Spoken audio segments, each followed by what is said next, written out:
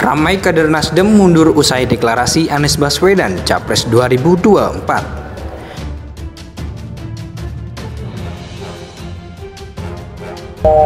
mengingatkan diri saya akan prinsip saya dan saya harus jalani dan keputusan itu adalah keluar dari partai. Dukungan Partai Nasdem terhadap Anies Baswedan sebagai calon presiden 2024 nampaknya bakal punya efek serius buat suara mereka di Pileg 2024 nanti kita juga mendengar ada banyak kader, anggota, pengurus, atau caleg Nasdem yang sudah menyatakan mengundurkan diri atau keluar dari Nasdem. Nasdem mulai ditinggalkan para loyalisnya. yang mengumumkan pengunduran dirinya dari Nasdem adalah Niluh Jelantik. Tokoh Bali ini terang-terangan menyebut dirinya sudah mundur dari Nasdem. Dia ogah lagi berada di partai yang sama-sama saling membesarkan itu. Ada apa ini dengan kader-kader Nasdem? Apakah ini bukti betapa otoriternya Surya Paloh? Apakah Kadrun menyambut gembira deklarasi Anies dan Nasdem? Karena itu SMRC menyimpulkan isu pencalonan Anies Baswedan sebagai presiden punya dampak terhadap perubahan wajah pemilih Nasdem. Suara Nasdem di Indonesia bagian timur dan dari kelompok pemilih non-muslim mengalami penurunan. Sementara belum terlihat ada penguatan dukungan yang signifikan untuk Nasdem dari Indonesia bagian barat dan kelompok pemilih muslim. Dan anehnya, kekecewaan itu nggak datang dari kader Nasdem saja.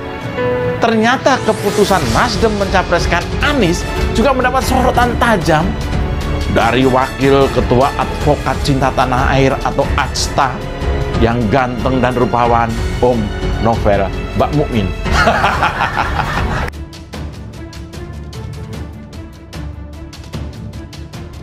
Gubernur DKI Jakarta Anies Baswedan diketahui menjadi calon presiden yang diusung Partai Nasdem pada pemilihan presiden atau Pilpres 2024 mendatang. Di sisi lain beredar kabar banyak kader Partai Nasdem yang mengundurkan diri usai Anies Baswedan dideklarasikan sebagai Capres 2024. Kabar tersebut diposting lewat akun Twitter dengan nama pengguna dalam unggahan pengguna @firza Hussein. Ditampilkan sebuah foto hasil tangkapan layar potongan artikel yang menyatakan bahwa beberapa pengurus dan kader Partai Nasdem di Kalimantan Timur mengundurkan diri. Unggahan tersebut juga disertai dengan narasi yang menyatakan bahwa pengunduran diri tersebut terjadi setelah deklarasi Anies Baswedan.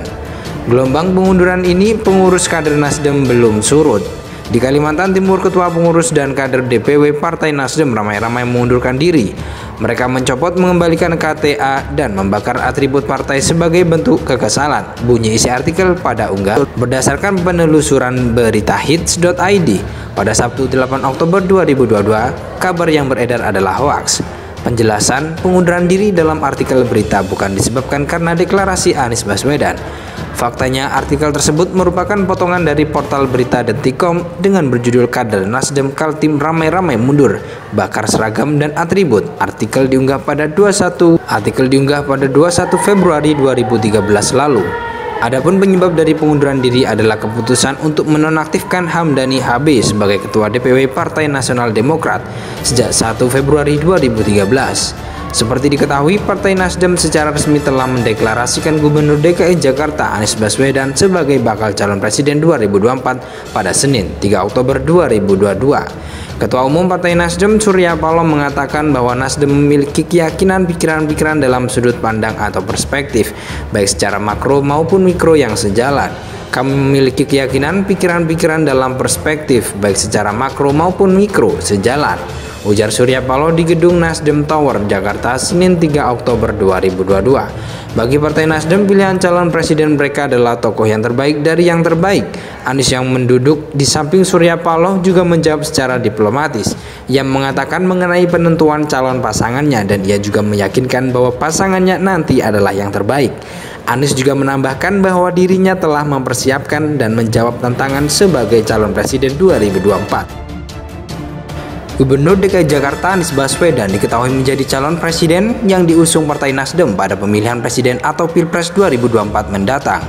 Di sisi lain beredar kabar banyak kader Partai Nasdem yang mengundurkan diri usai Anies Baswedan dideklarasikan sebagai Capres 2024. Kabar tersebut diposting lewat akun Twitter dengan nama pengguna dalam unggahan pengguna @firza Hussein. Ditampilkan sebuah foto hasil tangkapan layar potongan artikel yang menyatakan bahwa beberapa pengurus dan kader Partai Nasdem di Kalimantan Timur mengundurkan diri.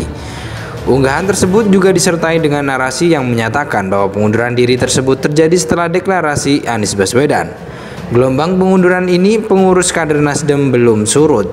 Di Kalimantan Timur, ketua pengurus dan kader DPW Partai Nasdem ramai-ramai mengundurkan diri.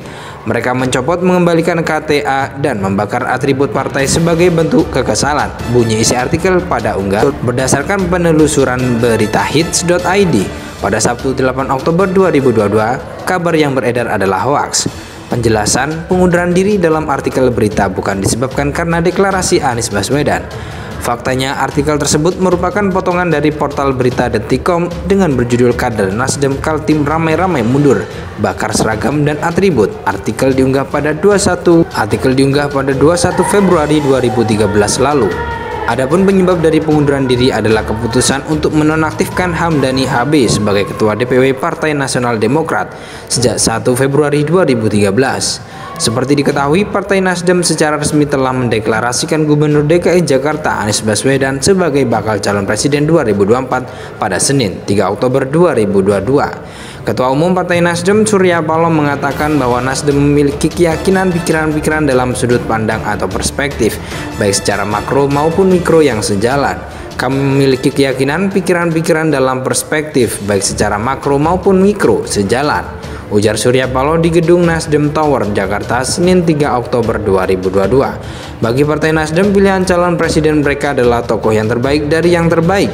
Anies yang menduduk di samping Surya Paloh juga menjawab secara diplomatis. Ia mengatakan mengenai penentuan calon pasangannya dan ia juga meyakinkan bahwa pasangannya nanti adalah yang terbaik. Anies juga menambahkan bahwa dirinya telah mempersiapkan dan menjawab tantangan sebagai calon presiden 2024. Gubernur DKI Jakarta Anies Baswedan diketahui menjadi calon presiden yang diusung Partai Nasdem pada pemilihan presiden atau Pilpres 2024 mendatang. Di sisi lain beredar kabar banyak kader Partai Nasdem yang mengundurkan diri usai Anies Baswedan dideklarasikan sebagai Capres 2024. Kabar tersebut diposting lewat akun Twitter dengan nama pengguna dalam unggahan pengguna @firza Hussein. Ditampilkan sebuah foto hasil tangkapan layar potongan artikel yang menyatakan bahwa beberapa pengurus dan kader Partai Nasdem di Kalimantan Timur mengundurkan diri. Unggahan tersebut juga disertai dengan narasi yang menyatakan bahwa pengunduran diri tersebut terjadi setelah deklarasi Anies Baswedan. Gelombang pengunduran ini pengurus kader Nasdem belum surut. Di Kalimantan Timur, ketua pengurus dan kader DPW Partai Nasdem ramai-ramai mengundurkan diri. Mereka mencopot mengembalikan KTA dan membakar atribut partai sebagai bentuk kekesalan. Bunyi isi artikel pada unggahan.